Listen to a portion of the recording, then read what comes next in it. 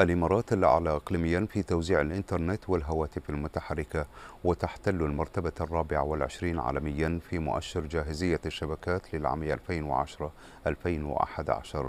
هذا ما ذكره تقرير لمجلة ميد الاقتصادية الذي أشار إلى أن تطوير الخدمات الحكومية الإلكترونية في الإمارات بات جزءا أساسيا من توفير الخدمات الحكومية.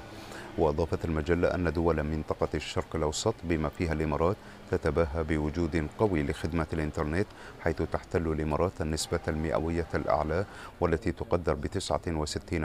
في المنطقة. كما أكدت المجلة أن مبادرة خدمات الحكومة الإلكترونية في دبي اليوم تضم ألفي خدمة إلكترونية وفي الشهور الستة الأولى من هذا العام أنجزت خدمة الدفع الإلكتروني بدبي أكثر من مليون وثلاثمائة ألف عملية إلكترونية مقارنة ب 800 عملية إلكترونية فقط في الفترة ذاتها من العام الماضي.